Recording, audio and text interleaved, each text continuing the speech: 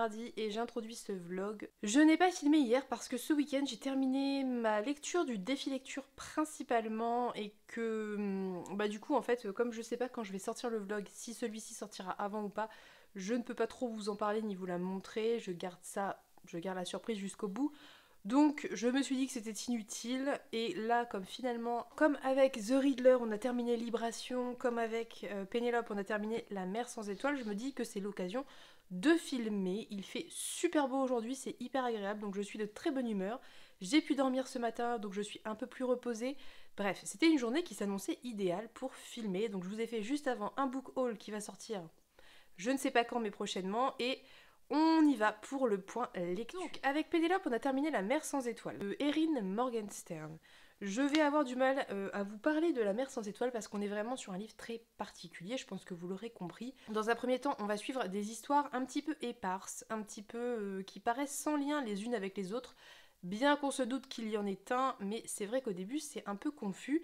Et assez rapidement, on retrouve le personnage de Zachary qui a euh, la vingtaine passée et qui se retrouve embarqué malgré lui dans, une aventure un peu particulière, puisqu'à la bibliothèque de son université, il trouve un ouvrage qui n'est pas daté, qui semble ne pas être édité par euh, une maison d'édition quelconque, qui semble assez ancien, et en le feuilletant et le lisant, il découvre qu'un des épisodes euh, de, des nouvelles qui sont à l'intérieur le concerne directement, puisque ça parle d'une expérience qu'il a vécue quand il était enfant et dont il n'a soufflé mot à personne. Donc il est très déstabilisé et partant de là, il commence un petit peu à enquêter pour savoir comment bah, ça a pu se retrouver là et puis euh, comprendre un peu tout ça. Et évidemment, il se retrouve embarqué dans une folle aventure, euh, dans des mondes mystérieux et mystiques.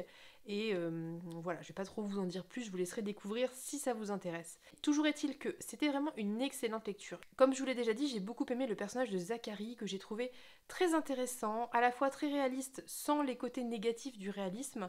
Il est très attachant en fait, et c'est assez rare que je m'attache vraiment au personnage, mais lui je l'aimais vraiment beaucoup on va euh, le suivre et on va suivre euh, un petit peu bah, avec le même regard que lui euh, ces choses qu'il découvre et qui semblent si peu probables et réalistes et qui sont bah, très déstabilisantes, hein, comme on peut l'imaginer. Enfin, moi en tout cas, j'imagine très bien que j'aurais été très déstabilisée à sa place. Et il va eh bien, creuser, enquêter, chercher, essayer de comprendre d'assembler des bouts de puzzle qui semblent pas du tout reliés les uns aux autres. Il va évidemment rencontrer d'autres personnages qui sont tous plus intéressants les uns que les autres pour diverses raisons. Des personnages plus ou moins mystiques, des personnages plus ou moins réels.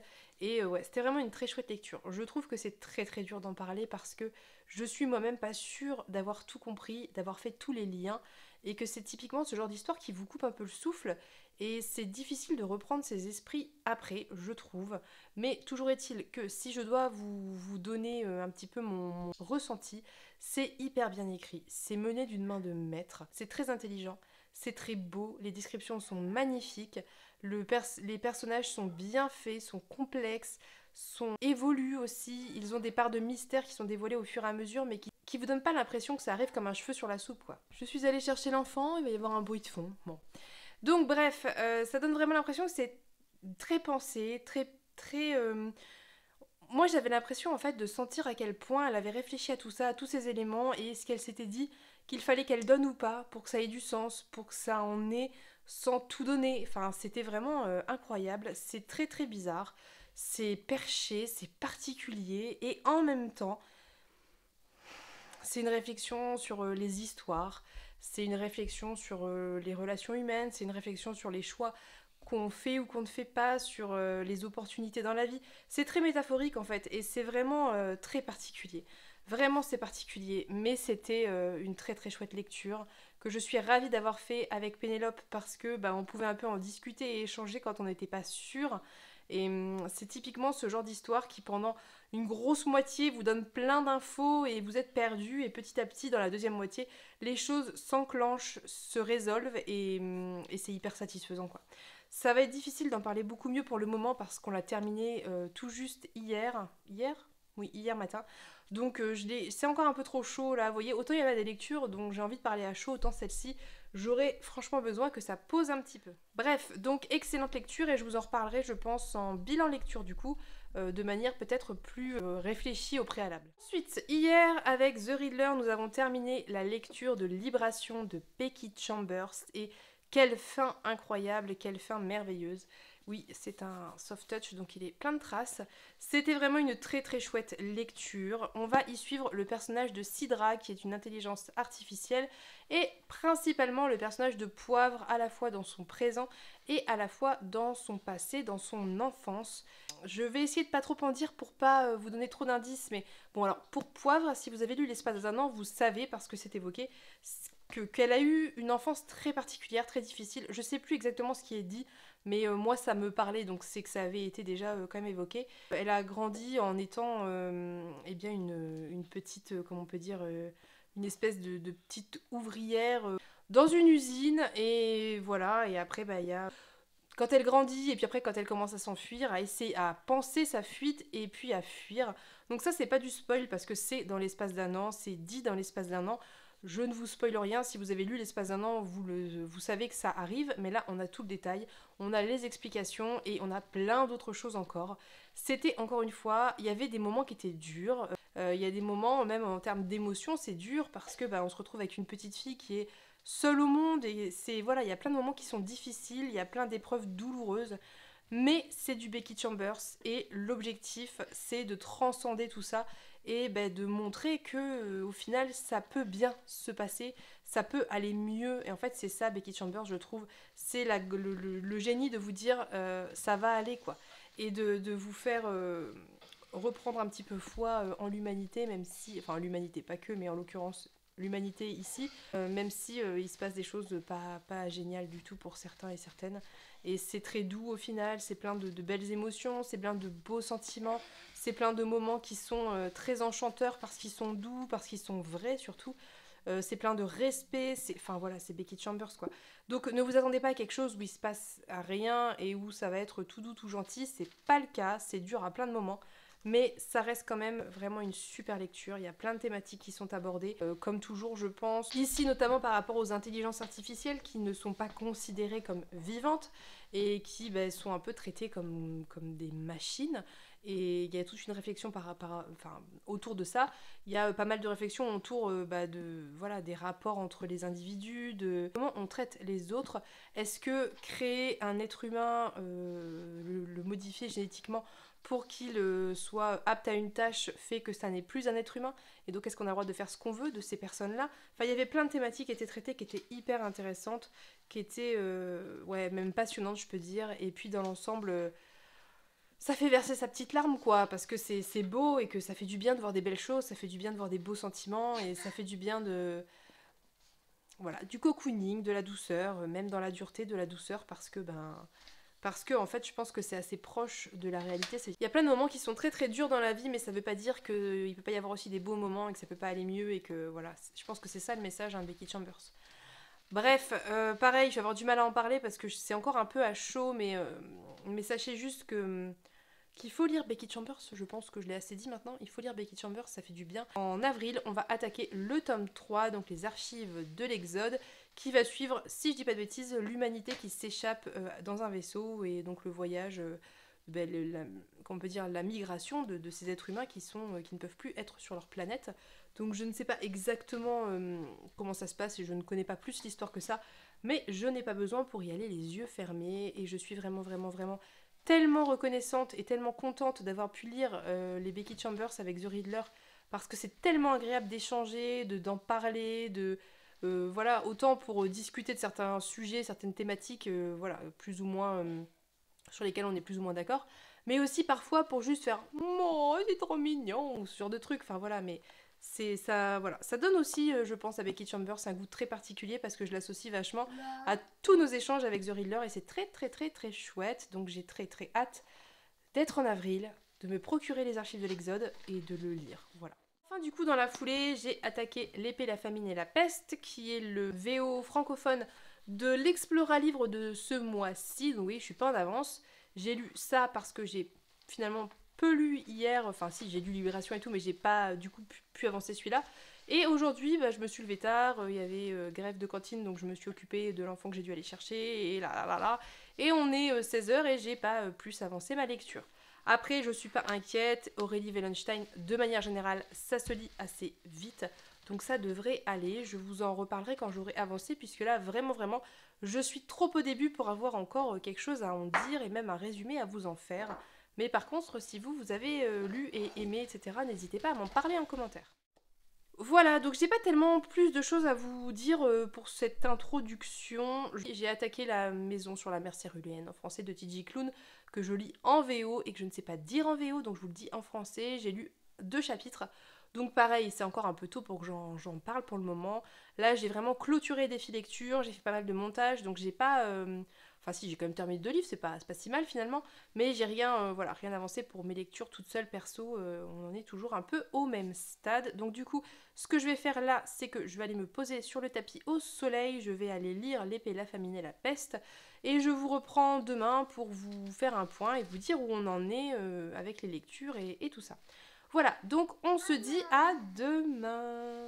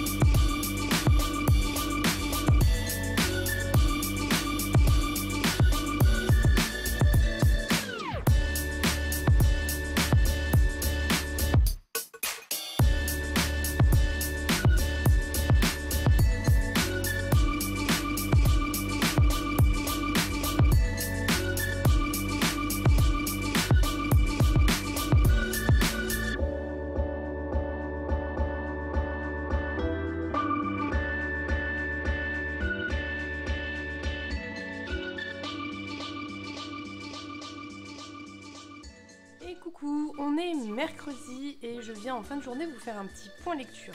Comme vous avez dû le voir, je pense, dans les hum, images précédentes, j'ai bien, bien, bien attaqué.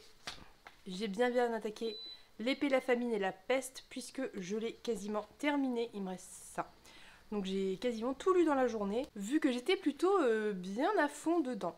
Donc je vais vous faire euh, assez rapidement un point lecture et puis je vous ferai un, lecture terminée euh, demain, je pense. Dans L'épée, la famine et la peste, on suit trois personnages. Donc un homme adulte qui a, je pense, plus ou moins la quarantaine et qui s'appelle Sullivan, qui est un ancien croisé. Alors ce qu'on appelle croisé, c'est plus ou moins euh, ce qu'on appelle nous croisé, hein, c'est-à-dire un espèce de chevalier de la religion qui combat les hérétiques, c'est l'idée, et qui a euh, été euh, apparemment rejeté, on ne sait pas trop, et qui erre, qui est devenu un peu un mendiant, on dirait. On suit ensuite Erin, qui est une jeune femme qui a 16 ans, je crois, qui va, euh, est dans un, habite dans un village et qui va assez rapidement dans l'histoire être accusé de sorcellerie. Et on suit Cillian, qui est un jeune garçon qui doit avoir plus ou moins l'âge d'Erin, peut-être un petit peu plus jeune, mais je ne suis plus très sûre, et qui, quant à lui, se retrouve euh, maudit pour une raison que je vous laisserai découvrir. Donc ces trois personnages, eh bien, euh, vont avoir une quête commune, vous pouvez, euh, je pense, l'imaginer, mais ils ne se connaissent pas du tout de base. Voilà, on va suivre un petit peu leur évolution propre à chacun pour euh, contrer leur, euh, eh bien leur, leur malédiction propre, en fait. Et c'est un petit peu l'histoire en règle générale des Aurélie Wellenstein.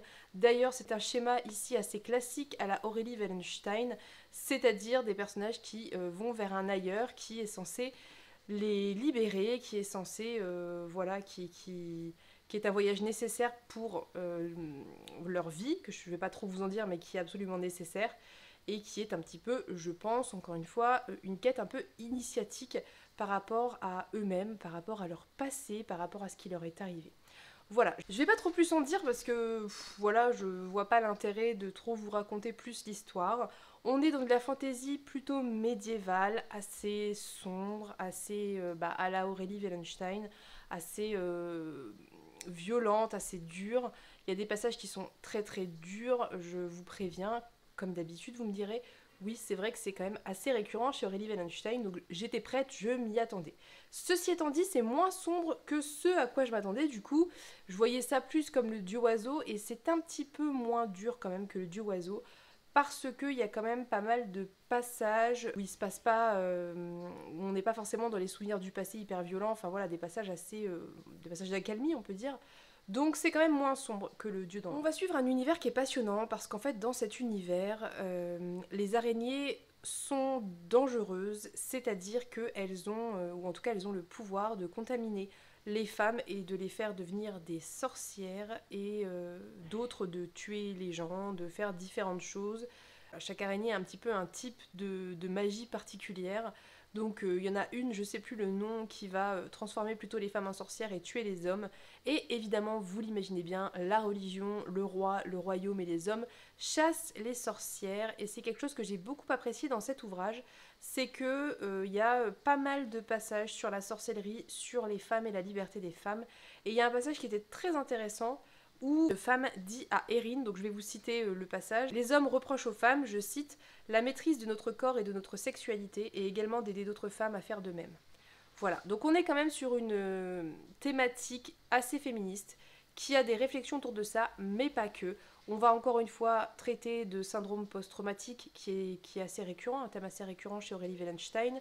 On va aussi traiter de repentir de ces choses du passé que l'on regrette, de, la nostalgie, du regret, de d'accepter euh, sa personnalité, d'accepter qui l'on est. Enfin, en fait c'est des thématiques toujours un petit peu récurrentes chez Aurélie Wallenstein qu'on retrouve ici, mais traitées un peu différemment des autres fois. Je dois quand même vous prévenir que on est sur une saga. Je pense que c'est une duologie. Et du coup, on n'est pas sur le même euh, déroulement qu'habituellement chez Aurélie Wallenstein, qui jusque-là n'a fait à ma connaissance que des tomes uniques. Et je trouve que dans ce volume-ci, on met assez longtemps à partir dans la quête à proprement parler. C'est quand même assez lent. Il y a beaucoup de passages de, de réflexion, d'échanges, de, de, souvenirs, de voilà, il y a plein de choses comme ça. Mais la quête à proprement parler est assez longue à arriver. C'est un rythme qui est assez lent qui euh, change un petit peu d'habitude. Ceci étant dit, je ne sais pas très bien pour le moment, vu que j'ai pas terminé, si le tome 2 va être une suite de ce tome 1 ou est-ce que le tome 2 va être une histoire, euh, une autre histoire dans le même univers et qui va peut-être rejoindre la première histoire, je n'en sais rien. Je suis pour le moment, voilà, j'ai pas fini. Je pense qu'à la fin il va se passer un truc comme très souvent chez Aurélie Wallenstein et euh, qui va éclairer un peu toute ma lecture. Donc je peux pas trop vous en dire plus pour le moment. Tout ce que je sais, c'est que moi j'aime beaucoup les thématiques traitées, donc la liberté, le féminisme, le corps des femmes, euh, évidemment les, hommes et leur manière de vouloir s'approprier le corps des femmes, et puis aussi, bah, comme je vous l'ai dit avant, hein, toutes les thématiques autour euh, bah, de la psychologie, de, l'intériorité des, personnages, qui est très intéressante. Ça s'est lu tout seul, ça se lit toujours tout seul Aurélie Wallenstein je trouve. Il me reste vraiment très peu de pages et c'est vraiment parce qu'il faut que je fasse à manger que j'ai dû arrêter, mais sinon euh, ça serait terminé. Donc ce que je vais faire, c'est que vraiment je vais le terminer pour avoir euh, bah, une sensation globale et un avis global, et je vous en reparle demain pour vous dire... Euh, comment dire, pour vous donner un avis plus personnel et pas juste parler des thématiques, etc. Donc ça, on en reparle demain.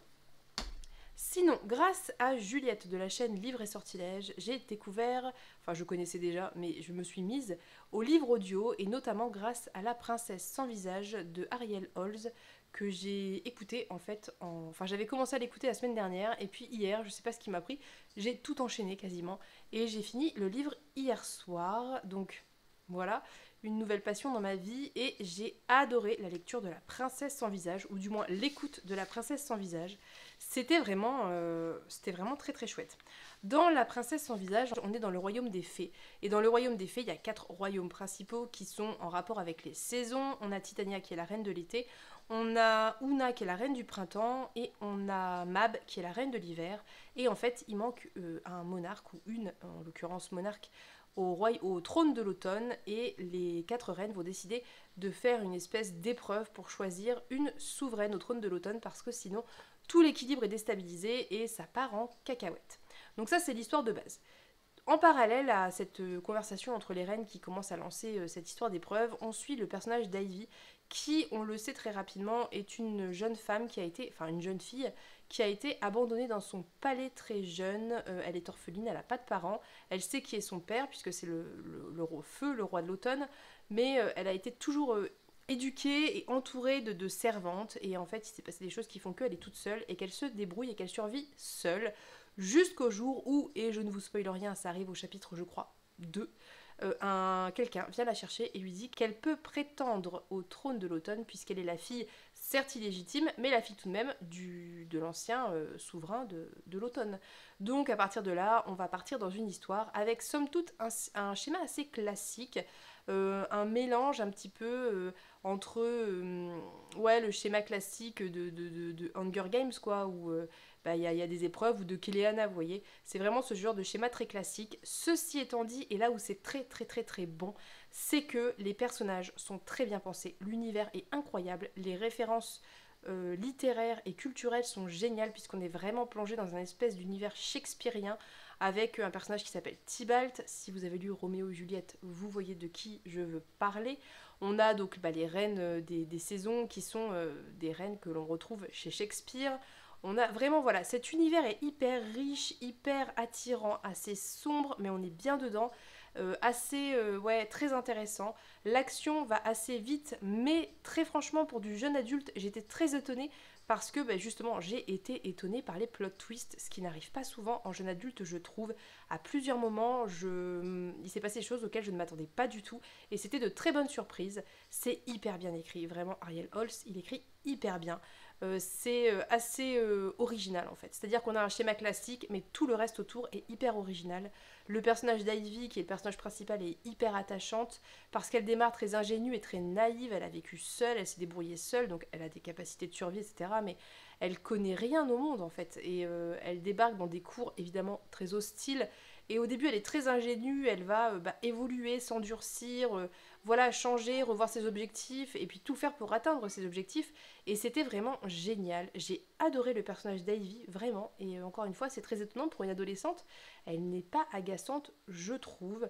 On a des personnages secondaires qui sont aussi très intéressants. Ouais, on a vraiment quelque chose qui est très original et surtout on a une fin avec un double plot twist qui était vraiment très bien fait. Euh, je m'attendais à un des deux mais hum, pas comme ça. Enfin, c'était vraiment très très chouette. C'était vraiment une très bonne lecture. J'ai adoré écouter et découvrir cet univers. Je ne regrette pas du tout. Et vous voyez, j'étais un peu réticente comme à chaque fois avec le jeune adulte et je n'en regrette rien. C'était assez incroyable. Sachez si jamais vous êtes abonné sur Audible qu'ils sont gratuits, le tome 1 et 2, et que moi j'ai déjà commencé le tome 2 parce que j'ai très envie de savoir où ça va vu comment ça se termine dans le 1. Donc bref, une très très bonne lecture que Juliette a aussi beaucoup aimé. Je ne peux franchement que vous recommander cette lecture ou cette écoute parce que vraiment c'est euh, hyper original, hyper bien écrit, hyper agréable. Enfin vraiment excellente découverte. C'était trop cool et je suis très contente. Voilà, donc ça c'est les deux livres que j'ai terminés du... Enfin non, du que j'ai pas terminé mais presque terminé. Et celui que j'ai terminé hier. Est-ce que j'avais autre... Oui, j'ai toujours le moineau, le moineau de Dieu dont il faut que je vous parle. Mais je... Là maintenant, ça va être un peu short niveau timing encore une fois. Donc je ne sais pas, on verra si j'arrive à le faire avant la fin de la semaine. Si je n'y arrive pas, tant pis, on en parlera euh, plus en profondeur en bilan lecture parce qu'à un moment, euh, bon bah voilà, si j'arrive pas à en parler, c'est que c'est pas le moment, je ne sais pas. Bref. Je pense que c'est tout, pas de lecture commune à l'heure actuelle, plein de prévus mais aucune entamée. Et puis, euh, bah ouais, je me suis pas mal concentrée sur Aurélie Wallenstein parce que je voudrais le terminer aujourd'hui pour attaquer autre chose. Et euh, je pense peut-être mon Terry Pratchett qui me fait très envie ou Les Flammes de la Nuit de Michel pas euh, C'était un point assez rapide parce que je n'ai pas le temps, que je cours un petit peu partout et que j'ai passé beaucoup de temps à lire aujourd'hui. Mais c'est un petit peu l'essence de tout ça. Hein. C'est-à-dire que si je lis pas à un moment, j'ai rien à vous dire. Donc bon, voilà, faut, faut réussir à faire des choix. Et aujourd'hui, j'ai lu. Sur ce, je vous laisse, je vais aller euh, faire à manger, faire euh, toute la routine du soir, terminer mon livre. On se retrouve demain du coup pour un bilan sur le Aurélie Wallenstein. À demain.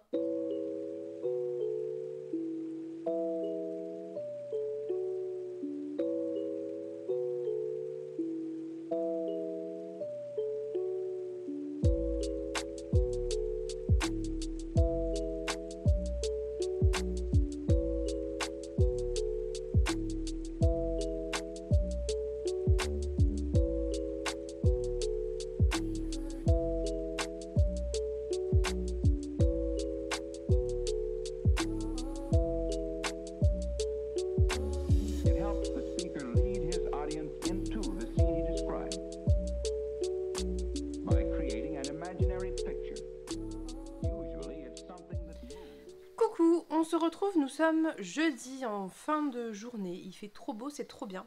Moi, j'ai ma tête euh, de quand j'ai travaillé que bah la flemme, voilà.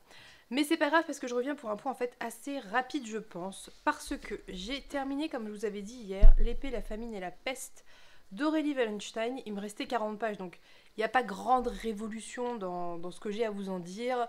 Comme un petit peu prévu, il y a une fin avec un peu des rebondissements. Ce que je peux vous dire, c'est que c'est un tome qui est quand même assez lent niveau rythme, c'est-à-dire qu'on est quand même sur quelque chose où euh, il y a vraiment des longs passages avec la sensation où il se passe pas grand-chose. Après, je trouve quand même que l'univers est plutôt intéressant, qu'il y a des thématiques abordées qui sont intéressantes, mais c'est vrai que je suis... En fait, je pense qu'on n'est pas habitué euh, à, à, ce que Aurélie Wallenstein fasse des hum, sagas. On est habitué à des one-shots. Et là, c'est vrai que du coup, ça fait bizarre parce que d'habitude, pour ce genre de, nombre de pages, dans un volume d'Aurélie Wallenstein classique, il se passe plein de trucs. Et là, c'était pas forcément le cas. C'était plutôt sympa, j'ai plutôt apprécié. Je. Hum, c'est pas mon préféré, c'est pas celui que j'ai trouvé le meilleur, parce que je pense que ce tome 1 est un peu introductif du tome 2 et que c'est dans le tome 2 qu'il va se passer plus de choses. On verra, puisqu'il est prévu pour l'Explora Livre du mois d'avril, donc je pourrai vous en reparler très prochainement. Ce que je peux vous dire également, c'est que finalement sur les trois personnages, j'ai euh, beaucoup apprécié le personnage d'Erin, que j'ai trouvé très intéressant. J'ai apprécié moyennement le personnage de Cillian, qui est... Euh, je trouve assez effacé, donc du coup c'est vrai qu'il a euh, un dilemme que, qui est assez récurrent chez Aurélie Wallenstein, qui est plutôt bien traité, mais c'est vrai qu'il est très effacé. Et du coup, je me suis pas forcément attachée à lui. Quant au personnage de Sullivan, bah, c'est celui que j'ai le moins aimé, bien qu'à la fin ça aille mieux. Mais j'ai eu du mal avec euh, certains côtés de sa personnalité, mais je pense que c'est vraiment propre à moi parce que ça fait partie de son écriture et de sa manière, la manière dont il est pensé en fait. Donc c'est juste moi qui ai du mal avec ce type de personnage. C'est pas un gros coup de cœur, c'est à découvrir. Je trouve qu'il y a des bonnes idées, il y a des bonnes thématiques abordées, il y a des bonnes choses, mais c'est vrai que je m'attendais à quelque chose où il se passerait plus d'action. Enfin, est-ce que c'est vraiment de l'action? Je sais pas. C'est pas forcément de l'action, mais euh, je pensais que ça serait plus creusé. En général, chez Aurélie Wallenstein, on est quand même sur de la dentelle en termes de, de, description psychologique, etc. Et là, j'ai trouvé que bah, un peu moins que d'habitude, mais je pense que c'est parce que bah, c'est une duologie et en fait, il faut le deuxième peut-être pour compléter ce tome-ci. Je sais pas. Bon, voilà. C'est un avis qui n'est pas euh, négatif, mais qui n'est euh, pas. Je suis pas encore convaincue. Il faut vraiment que je lise le 2 pour euh, savoir ce que je pense de la saga dans son intégralité. J'ai un petit peu cette sensation, vous savez, qu'on a deux tomes qui auraient pu être un seul gros tome, peut-être, et que ça aurait été. Il y aurait eu plus de sens à ce début un peu lent. Je sais pas. Bon, voilà. De toute façon, on en reparlera quand je lirai le 2, puisque ça va arriver très bientôt. Et puis, voilà, on verra à ce moment-là la finalité de, tout ça. Et du coup, après avoir terminé mon Aurélie Wallenstein, je cherchais quoi lire et je me suis dit qu'il était temps, euh, vu que nous sommes à la fin du mois, que j'attaque mon Terry Pratchett du mois. Euh, sûrement que du coup, je pense, je le terminerai en avril et le prochain ne sera qu'en mai, donc finalement j'aurai sauté un mois. C'est pas grave, tant pis. J'ai lu une cinquantaine de pages sur 240 euh, plus ou moins. Et pour le moment, je suis toujours aussi fan de l'humour de Terry Pratchett qu'est-ce que j'aime son humour, ça me fait rire à plein de moments. Très très souvent, je veux dire, c'est pas une fois dans le livre où je rigole, c'est euh, très régulier que je rigole. Je trouve ça drôle, je trouve ça impertinent et intelligent. Voilà, on retrouve le personnage de Rincevent, on retrouve Deux Fleurs, qui était un petit peu en orbite autour du disque monde et qui se retrouve à nouveau propulsé sur le disque monde. Et voilà, on retrouve un petit peu bah, les personnages qu'on connaît, de nouveaux personnages, et j'ai très hâte de savoir où ça va aller. Parce que vraiment, euh, j'adore. franchement, j'adore, euh, j'adore. Donc voilà, je n'ai pas grand chose à en dire pour le moment, je vous en reparlerai quand j'aurai plus avancé parce que là, voilà, je suis dans les balbutiements de l'installation des nouvelles aventures ou mes aventures de nos deux personnages. Donc voilà, on en reparle très très bientôt. Enfin, normalement, demain soir avec Pénélope, on va s'attaquer euh, Light Lark de Alex Aster, je crois, qui a l'air gros mais qui à mon avis va se dire très très vite, c'est vraiment écrit très très gros. Donc on va essayer de se faire ça a priori sur le week-end parce que lundi on attaque autre chose. Mais j'ai vraiment hâte et surtout ça me fait déculpabiliser de l'avoir euh, acheté euh, sur un coup de tête parce que du coup je le lis direct. Et je pense qu'elle aussi d'ailleurs et c'est un petit peu l'objectif. Et d'ailleurs c'est ce qui nous arrive euh, de temps à autre de s'acheter toutes les deux le même livre et de le lire dans la foulée. On l'a fait avec euh, le projet secret numéro 1, donc Tress. On l'a fait avec le niveau, on l'a fait avec autre chose, ah, avec le Holy Black, donc euh, c'était euh, le livre de la nuit. Voilà, on est un petit peu sur cette dynamique où on s'achète des livres, mais on essaye, quand on a toutes les deux prévu de l'acheter et qu'on l'a en même temps, de se le lire ensemble et de le passer très vite, histoire de voilà de ne pas se dire on l'a acheté et il traîne, il traîne, il traîne. Ce qui est plutôt cool. Donc voilà, on a déjà euh, prévu pas mal de lectures toutes les deux, donc euh, ça va être encore un, bon mois. Je pense avril, à mon avis, on va récupérer un peu un rythme. Moi, j'ai peiné sur la première moitié de mars, mais euh, là maintenant, ça y est, je suis repartie dans mon rythme un peu d'antan, ce qui est plutôt cool. Et puis voilà, il n'y a rien de particulier. A priori, ma médiathèque refonctionne, ce qui est très chouette, sauf que j'avais ramené des livres le mercredi et ça a pété le jeudi. Et j'ai l'impression qu'ils n'ont pas noté, enfin que ça n'a pas été enregistré les livres que j'ai ramenés. Donc j'espère que j'aurai pas de problème avec eux, même si à mon avis non, ils sont quand même assez cool. Mais il va falloir que je me pointe en disant bah celui-ci j'ai déjà ramené, celui-ci j'ai déjà ramené, celui-ci j'ai déjà ramené. Ça me. Bon, voilà. Ceci étant dit, je suis ravie parce que je vais pouvoir emprunter le, la miséricorde de l'ancillaire et j'ai très très hâte de le lire. Par contre, ça implique qu'il va falloir que j'en lise certains euh, rapidement là pour les ramener rapidement. Parce que comme je n'avais plus accès au site et qu'évidemment je ne note pas mes dates de, de retour, eh bien euh, je suis en retard sur certains livres. Donc il faut que je me bouge un petit peu. Je vais faire ça, je pense. Euh, je vais passer genre les mangas, les BD ce, là ce soir.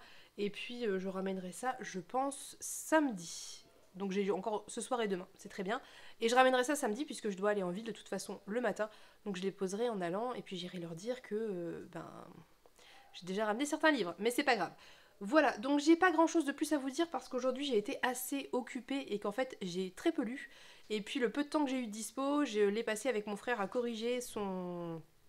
son. comment on appelle ça Son manuscrit. Donc voilà. C'est tout pour euh, ce jeudi qui aura été bien chargé et très ensoleillé, ce qui est très chouette. On se retrouve du coup demain pour un point lecture sur Terry Pratchett normalement. Peut-être sur quelques graphiques, ça serait plutôt cool. Je vais essayer d'en lire quelques-uns ce soir, ça me fait bien envie. Et puis voilà. Donc je vous laisse. Désolée si j'ai été rapide, mais le soir à chaque fois c'est un peu la course et le jeudi j'ai pas le temps de filmer euh, la journée, donc c'est compliqué. Mais soit, c'est pas grave. On se retrouve demain. On se retrouve demain. Je vous fais plein de gros bisous et puis je vous dis à plus tard.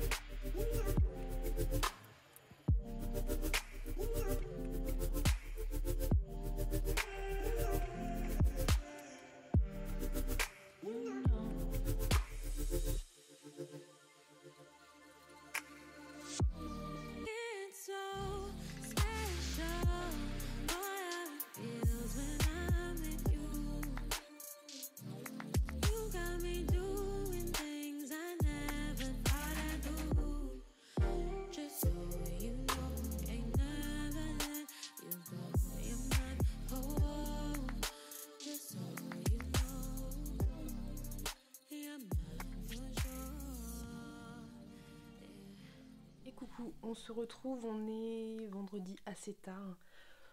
D'où ma tête huileuse, post-crème et compagnie. C'est pas grave. Euh, j'ai pas filmé en fait aujourd'hui parce que j'ai lu et j'ai beaucoup lu. Puisque j'ai lu Eurydice déchaînée de Melchior Ascaride qui va parler du. C'est une réécriture en fait de. Pas vraiment du mythe d'Eurydice euh, et d'Orphée, mais plutôt de l'après en fait. Puisque dans le mythe originel, euh, Orphée peut sauver Eurydice des enfers si il arrive à partir sans se retourner. Il se retourne et elle est euh, bah, voilà, renvoyée aux enfers. Et en fait là on démarre juste après ce moment-là et Eurydice est très très en colère et euh, tellement en colère qu'elle décide de se venger. Et il y avait mais pléthore de réflexions intelligentes, féministes. Par exemple, elle soupçonne Orphée de s'être retourné parce que Orphée est un aède, donc un, comment on peut dire, un espèce de, chanteur de cour. Et hum, elle le soupçonne d'avoir fait ça pour, euh, pour avoir une belle histoire à raconter, pour faire pleurer dans les chaumières et pour pouvoir pécho en gros. Et on va rencontrer plein de personnages hyper intéressants, notamment euh, le personnage de Tirésias qui se genre au féminin dans le livre. On va rencontrer euh, Perséphone, on va rencontrer, bref, les Danaïdes, beaucoup de personnages féminins qui vont euh, s'entraider, qui vont faire preuve de sororité pour eh bien s'en sortir tout simplement. Je sais pas si je vous en reparlerai, je vais pas trop m'étendre là maintenant parce qu'il est tard et qu'il faut que je clôture et que je monte aussi après le bout de vidéo que je filme. Donc je, vous en reparlerai peut-être euh, dans le vlog de la semaine prochaine si j'en ai envie, si j'en ai le temps. De toute façon j'ai pris des notes, donc au pire ça sera dans le bilan lecture du mois de mars. Du coup j'ai enchaîné avec La fille aux mains magiques de Neddy Okorafor illustrée par Zariel. Oui, Zariel. Je vous ai inséré des images, vous avez dû voir la beauté de cet ouvrage qui est sublime. On va suivre une petite fille qui a une dizaine ou douzaine d'années je crois et qui est assez malheureuse, qui vit avec des parents assez malheureux, qui sont pas très très sympas avec elle. Et un jour euh, alors qu'elle s'est fait punir et qu'elle doit aller chercher de l'eau à la source, eh bien elle entend euh, des voix de femmes et euh, elle va les voir un petit peu plus loin. Et ces femmes vont lui faire un dessin sur la main et suite à ça elle va se mettre elle-même à dessiner il va y avoir toute une histoire autour à la fois peut-être, je pense, de contes d'origine nigériane, je, pense, à la fois du magical realism, donc euh, on ne sait pas trop si c'est magique ou pas, on ne sait pas trop si c'est de la force de persuasion ou si c'est de la magie. Bref, en tout cas, le destin de cette petite fille va changer, puisqu'à partir du moment où elle se retrouve avec cette feuille sur la main, elle se met elle-même à dessiner et elle se met à donner du bonheur aux gens. Et vous voyez, c'est là toute la subtilité de la chose. Est-ce que c'est l'art qui rend les gens heureux? Est-ce que c'est la magie? Est-ce que c'est un peu les deux? Voilà. Elle va nouer des relations avec une vieille dame du village qui va lui apprendre à faire des mélanges pour avoir de l'encre, puisque bah, pour elle, un stylo et de l'encre coûtent extrêmement cher et elle n'a pas les moyens.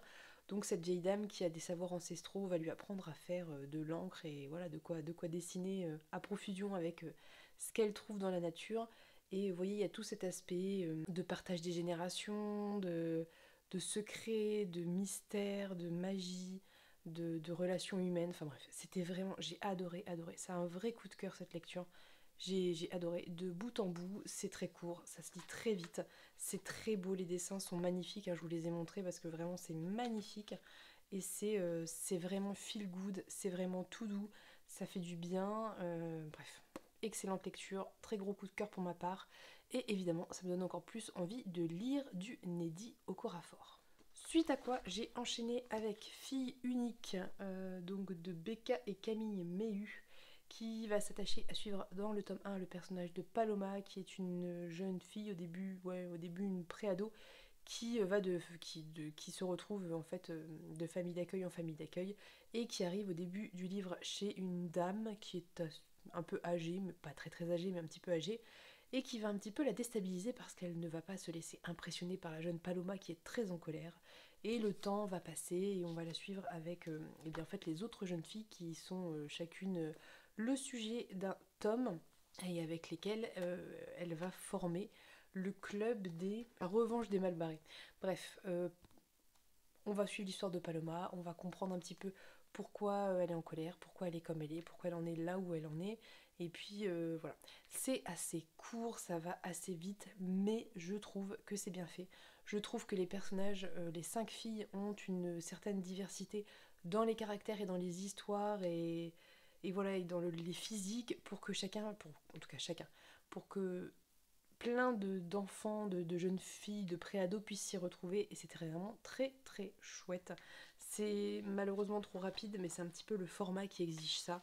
Et euh, ouais, j'ai quand même beaucoup aimé. J'ai trouvé que hum, ça, peut être une bonne lecture à donner à des ados parce que ça parle de recherche de soi, parce que ça parle de, des difficultés de pas être comme tout le monde, d'être différente. Ça parle des relations avec autrui, enfin bref, ça va parler de plein de sujets humains. Ça va aussi parler un petit peu de sujets sociaux. Enfin, c'est hum, c'était vraiment très chouette. Voilà. Donc je vous recommande cette lecture si jamais euh, ça vous intéresse. Et puis euh, j'ai assez envie de découvrir le prochain tome qui va parler de Céleste, qui est cette jeune fille assez euh, discrète, qui est la plus discrète des cinq. Et euh, voilà, donc je l'emprunterai s'il est à ma médiathèque et je vous en reparlerai. Enfin, dernier livre que j'ai lu, et ça aussi c'est un coup de cœur, c'est le tome 1 de Saga de Brian Vaughan et Fiona Staples qui va parler, je vous avais déjà fait le résumé je crois, de ces deux personnages qui sont deux personnages un petit peu à la Roméo et Juliette de deux camps ennemis, ennemis, ennemis, pourquoi je mets un dé De deux camps ennemis, lui était prisonnier, elle était sa gardienne, et euh, voilà le résultat de, tout ça. Et en fait, du coup, ils sont en fuite, puisque bah, ils ne sont pas du tout, du tout censés euh, être ensemble, avoir un enfant, etc. Là, je vous spoil rien, hein, c'est la première planche, hein, je peux vous montrer la première planche. C'est l'accouchement. Voilà. Donc, euh, on sent que ça va être triste, on sent que ça va être dur. La narratrice euh, de fond, c'est euh, la petite qui s'appelle Hazel, qui s'appelle Hazel, qui raconte un petit peu tout ça. Mais je sais pas pourquoi, j'ai eu un crush sur les personnages incroyables. J'ai adoré ce couple, en tant que couple, en tant qu'individu. J'ai adoré les dessins qui pourtant habituellement seraient pas trop mon genre de dessin, mais là je sais pas, il y avait quelque chose qui s'en dégageait, euh, il y a une certaine émotion. Il y a des passages assez trash, je vous dis, il y a des trigger warnings sur plein de sujets. Si vous n'aimez pas les créatures bizarres type euh, arachnéenne, il y en a une sacrée là-dedans. Il y a des trigger warnings autour des enfants, il y a des trigger warnings autour de quand même pas mal de choses. Mais c'était génial. J'ai adoré l'ambiance, j'ai adoré euh, les personnages. J'ai. Voilà, je, sais pas, j'ai. Déjà réservé le tome 2, c'est pour vous dire tellement j'ai adoré, tellement j'ai trouvé que c'était génial et, voilà. Donc je ne sais pas trop quoi vous en dire sans vous spoiler. Je trouve que les personnages ont une, vraie profondeur et en fait sont suffisamment bien faits pour qu'ils aient à la fois de l'épaisseur et en même temps qu'ils fassent réalistes. C'est-à-dire que euh, bien qu'ils soient clairement pas humains, ou en tout cas pas totalement humains, je trouve qu'ils font assez réalistes. Je trouve que leur relation fait très réaliste et je trouve ça euh, assez étonnant parce qu'en général, souvent, je trouve que le problème du graphique, c'est souvent en surface, quoi. Ou alors il y a des thématiques de fond qui sont traitées, mais euh, c'est assez rare de trouver des personnages qui ont vraiment du relief. Et là, je trouve que c'est le cas. Je, voilà, j'ai trouvé que c'était euh, assez incroyable et j'ai très très hâte de lire la suite. Enfin, dernier point lecture, avec Pénélope, nous avons attaqué comme prévu Light Lark qui euh, bah, reflète de mille feux avec la lumière. Je, voilà, désolé, je peux pas faire autrement. Je peux vous montrer ça qui est très très joli. Donc d'Alex Astor publié chez Lumen qui vient de sortir. Nous avons lu un petit peu plus de 100 pages, ce qui représente pas grand chose sur 600, mais en fait ça se lit super vite. Hein. C'est du, jeune adulte, ça se lit très vite. Ce que je peux vous en dire, j'avais vu des commentaires assez négatifs autour de ce livre en disant que c'était mal écrit, que c'était cliché, que... Bon voilà, plein de choses. Vous savez peut-être, si vous me suivez depuis pas si longtemps que ça, que je ne suis pas du tout un public euh, cible euh, jeune adulte. Autant la jeunesse, jeunesse, genre pré-ado, enfant, ça peut très bien marcher avec moi, autant tout ce qui est jeune adulte, souvent j'ai du mal. Et d'ailleurs, j'en lis assez peu, ou alors je choisis vraiment très très bien ce que je lis. J'y suis allée sans savoir, un peu au feeling, parce que j'ai trouvé que le livre était absolument magnifique et que j'ai pas résisté. C'est certainement l'un des plus beaux livres que j'ai vu passer en termes de, travail éditorial sur la couverture, sur le jaspage. Même la mise en page est très cool. Voilà, donc je, n'ai pas résisté. Regardez-moi l'intérieur de cette couverture. Enfin, le travail est, fou, quoi.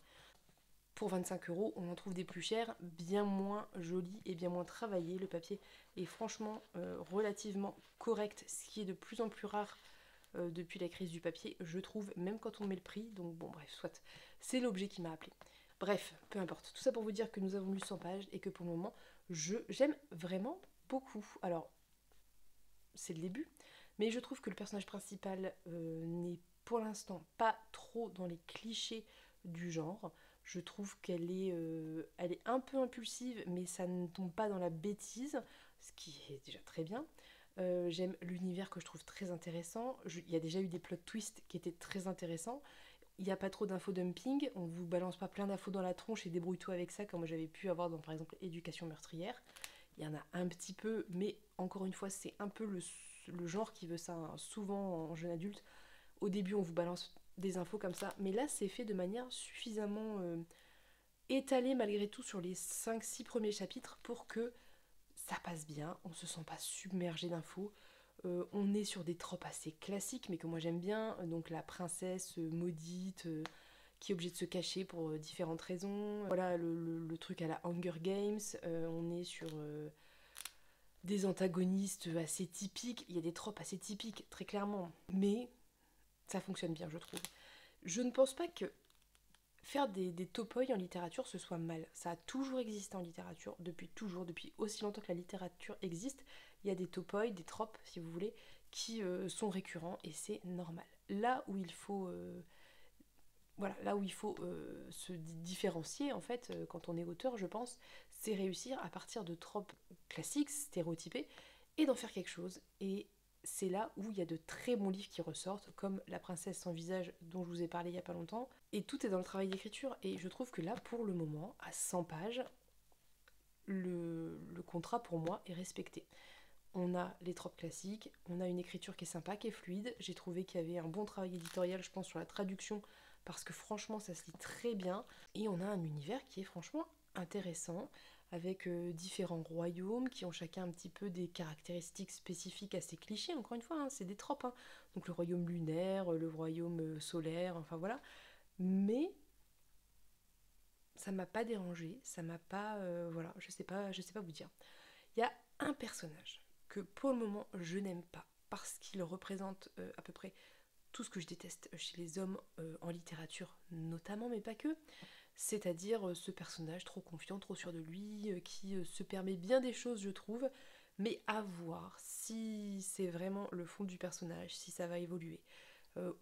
je sens la romance poindre derrière tout ça et j'espère être détrompée parce que ça me ferait bien plaisir que voilà que qu'une autrice s'amuse un petit peu à, balancer des trucs et puis en fait fasse autre chose avec. Mais ça reste du jeune adulte et dans le jeune adulte, il y a des attendus toujours un peu des attendus par rapport à certaines choses, donc je ne me fais pas trop d'illusions. Ceci étant dit, à part ce personnage qui, euh, pour le coup, lui est vraiment très cliché, tout le reste, ça passe très bien. Euh, on a démarré le chapitre 4 sur un énorme plot twist que franchement, j'avais pas vu venir. que j'avais pas vu venir. Si, je l'avais vu venir, mais à la fin du chapitre 3, donc du coup, euh, forcément, bon, je l'avais pas vu venir au final. Oui, franchement, c'est vraiment pas mal, quoi. C'est et c'est pas le seul plot twist qu'il y a eu dans le livre sur je on a lu, quoi euh, 7 chapitres et on en a déjà eu 2-3, je pense. Donc c'est quand même pas, pas si mal.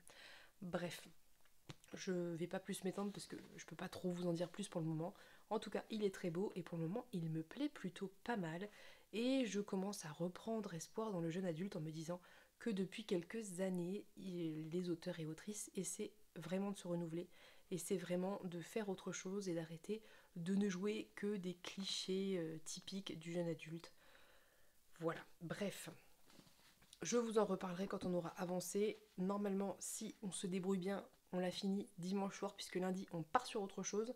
Donc, il euh, va falloir qu'on se bouge ce week-end. Mais euh, a priori, vu qu'on a toutes les deux prévues de ne faire que lire ce week-end, ça devrait le faire. Voilà. Là, je vais vous laisser. Ça fait 16 minutes que je parle, il va falloir que je monte. Il doit être pas loin d'une heure du mat. Je suis claquée. Demain, je travaille, donc je vais euh, vraiment vous laisser. Voilà, donc j'espère que cette vidéo vous a plu. Si c'est le cas, n'hésitez pas, comme d'habitude, à vous abonner, à laisser un commentaire pour me parler euh, de diverses choses, de ce que vous voulez. Et puis moi, je vous souhaite une bonne journée, une bonne soirée, plein de bonnes lectures. Je vous fais plein de gros bisous et je vous dis à bientôt pour une prochaine vidéo. Bye bye